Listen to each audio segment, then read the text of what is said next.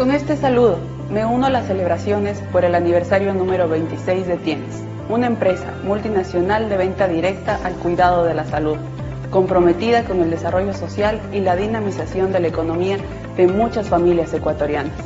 Los felicito y los motivo a seguir siendo la inspiración de muchos emprendedores en todo el mundo. ¡Feliz aniversario!